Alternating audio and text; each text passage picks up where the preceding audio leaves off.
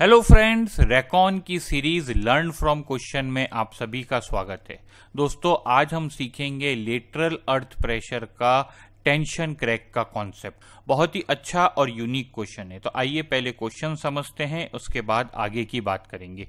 Two marks का question है 2018 की मॉर्निंग शिफ्ट में पूछा गया था। क्या है क्वेश्चन? देखिए, a rigid smooth retaining wall of height seven metre with vertical back face retain saturated clay as backfill तो पीछे जो सॉइल है, वो सेचुरेटेड क्ले है मतलब फाइव जो है, वो ज़ीरो होगा।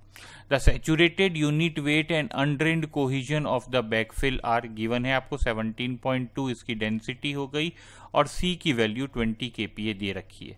The difference in the active lateral force on the wall in kilonewton per metre length of wall up to two decimal place before and after the occurrence of tension crack is तो आपसे पूछा गया है tension crack के बारे में काफ़ी common है सॉइल के अंदर, काफ़ी बार दो कंडीशंस को ही कंपेयर करना होता है गेट जैसे एग्ज़ाम में। सीधा क्वेश्चन नहीं पूछते, ज़्यादातर दो कंडीशन पूछ के दोनों का टेस्ट एग्जामिनर ले लेता है। वही चीज़ उन्होंने यहाँ पे भी की है। तो दोस्तों, मेरी एडवाइस रहेगी, पहले वीडियो पॉज करिए और कोशिश करिए कि क्या आप सॉल्व करके 46.6 अगर आपका आंसर 46.6 आ रहा है, तब भी मैं कहूँगा दोस्तों, आप वीडियो पूरा देखिएगा, क्योंकि एक बहुत ही इंपॉर्टेंट इंपॉर्टेंट चीज़ इस क्वेश्चन में छुपी हुई थी।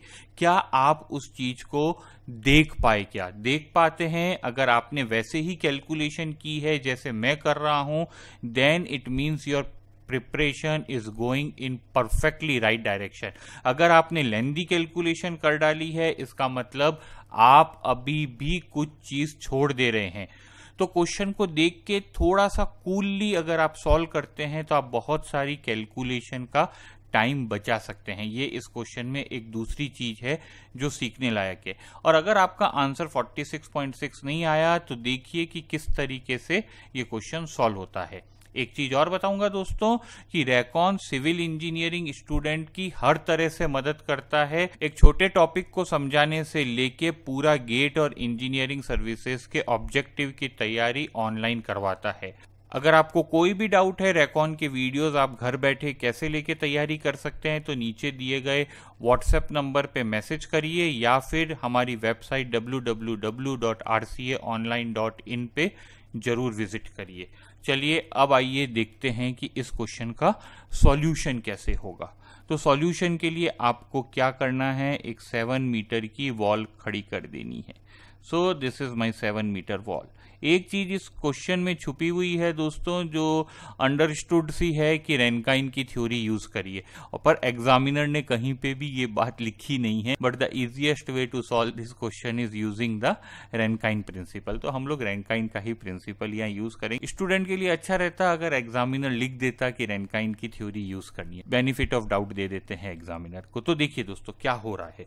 यहाँ पे टेंशन क्रैक की बात हो रही है। तो जब भी बैकफिल में क्ले होगा दोस्तों तो फॉर्मूला क्या होगा? एक्टिव प्रेशर का वो मैं आपको बता देता हूँ। सिंपल है।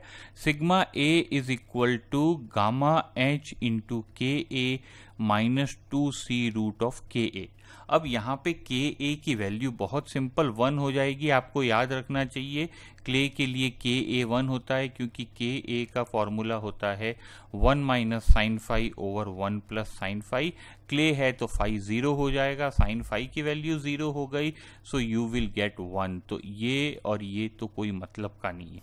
तो आपके एक्टिव प्रेशर का फॉर्मूला बन गया gamma Z minus two C अब अगर आप देखें तो व्हेन हाइट इज़ ज़ीरो तो टेंशन डेवलप हो जाएगा negative sign shows tension so what you get minus two into twenty which is forty तो आपके माइनस फोर्टी का एक टेंशन आया, उसके बाद लीनियर डिस्ट्रीब्यूशन होगा, जैसा आपको दिख रहा है, और वैल्यू कुछ इस तरीके से बढ़ जाएगी। Okay so this is my case one इसमें मैं वैल्यू लिख देता हूँ दिस इज़ माइनस फोर्टी ये नेगेटिव है और नीचे में पॉजिटिव है, यानी कि कंप्रेशन है। केस टू में क्या है दोस्तों? केस टू बोला गया है, जब टेंशन क्रैक डेवलप हो गया है। देखिए दोस्तों, जब टेंशन क्रैक डेवलप हो जाएगा तो किस तरह का प्रेशर डिस्ट्रीब्यूशन बनेगा? तब इस तरह का प्रेशर डिस्ट्रीब्यूशन बनेगा। ऊपर में टेंशन क्रैक डेवलप होने से सॉइल जो है, वो वॉल को छोड़ चुकी होगी। ओके तो आपका केस टू का डायग्राम इस तरह का है पॉजिटिव का। ओके अब इस डेप्थ की बात कर लेते हैं कि ये डेप्थ कितनी होगी तो ये ज़ीरो कब होगा? अगर मैं इस इक्वेशन में इसको ज़ीरो पुट कर दूँ तो what I will get I will get H is equal to two C by gamma यानी कि two multiply by twenty divided by gamma की वैल्यू यहाँ पे देखिए 17.2 दे रखी है। So I put 17.2 and I get this value as 2.33 यानी कि ये वैल्यू हो गई 2.33 अब यहाँ पे क्वेश्चन खत्म हो जाता है दोस्तों। अगर आप पेशेंस और कूलली क्वेश्चन कर रहे हैं तो क्यों? क्योंकि आपसे क्या पूछा है? आपसे पूछा है difference in the active lateral pressure तो इन दोनों का डिफरेंस क्या है? इसका एरिया ओके तो इसका एरिया कितना हो गया? ऊपर वाले पार्ट का it is half into minus forty into two point three three which is equal to forty six point six अब बहुत से स्टूडेंट मैंने देखा है दोस्तों पहले ये पूरा एरिया कैलकुलेट करते हैं, यानी कि ये एरिया और ये एरिया एक वैल्यू निकालते हैं, फिर ये वाला एरिया भी कैलकुलेट करते हैं, फिर दोनों वैल्यू को सब्ट्रैक्ट करते हैं और आंसर लाते हैं। 46.6 इतने टाइम लगाने की आपको ज़रूरत ही नहीं थी। आपको थोड़ा सा पेशेंसली और कूलली अगर आप ऑब्ज़र्व करते सॉल्यूशन को तो आपको मिल जाता कि ये आंसर यहीं पे है।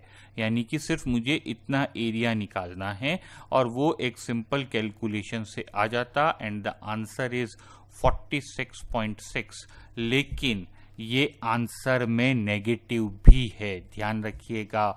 बहुत से स्टूडेंट 46.6 करके आए और परेशान रहे कि सर माइनस का ध्यान नहीं दिया। बट लक अच्छा था दोस्तों कि गेट में दोनों आंसर एक्सेप्ट किए। यानी कि 46.6 जिन्होंने पॉजिटिव लिखा, उसको भी मार्क्स दे दिया और जिन्होंने नेगेटिव लिखा, उनको भी मार्क्स दे दिया। लेकिन हर बार ऐसा नहीं होगा।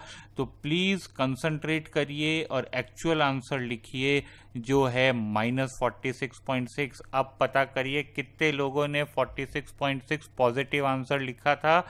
कमेंट सेक्शन में ज़रूर बताइए कि सर मैंने 46.6 लिखा। चांस से राइट हो गया, लेकिन एग्ज़ाम में हो सकता है नेगेटिव होके मार्क्स कट जाएँ। दोस्तों, इसी तरह रेकॉन के वीडियोस आपको पूरी तरह से तैयारी कराते हैं गेट और इंजीनियरिंग सर्विसेज़ की, जिससे आप एग्जामिनेशन हॉल में कोई गलती नहीं करें। ज़्यादा इन्फॉर्मेशन के लिए मैं फिर बोलूँगा, हमारे वेबसाइट विज़िट करें या व्हाट्सएप नंबर पे मैसेज डालें। With that thank you very much. keep enjoying your engineering and have lot of fun in your life. Thank you.